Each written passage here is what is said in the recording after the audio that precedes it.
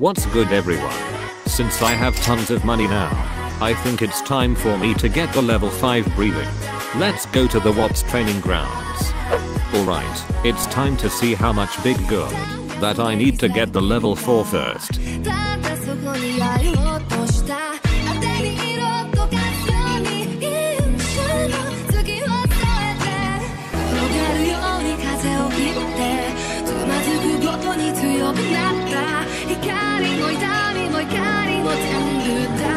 Finally, it took me 11 big good to reach level 4 breathing. It cost 7700 wen. Now let's get that sweet level 5 breathing.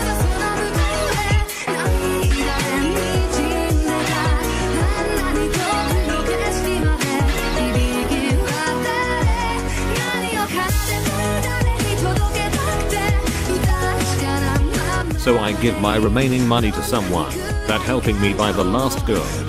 Now I literally broke. Even after 43k went, I still didn't have a level 5 breathing.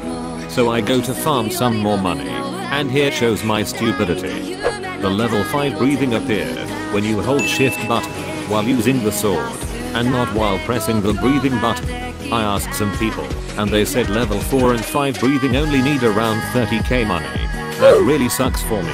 Well, I can farm money fast anyway. Now I finally reach the maximum breathing. That's all. See ya.